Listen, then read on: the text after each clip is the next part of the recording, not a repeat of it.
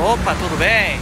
Hoje vim falar dessa caminhonete, tá? Da Toblo ELX 1.6 7 lugares, ano 2002, tá? Mas bem revisado.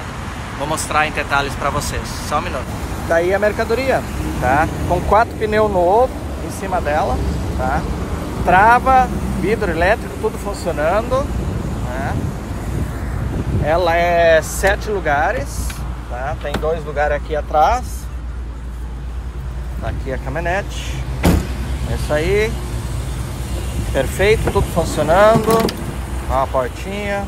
Vou levantar aqui. Show de bola. O que, que nós temos mais aqui?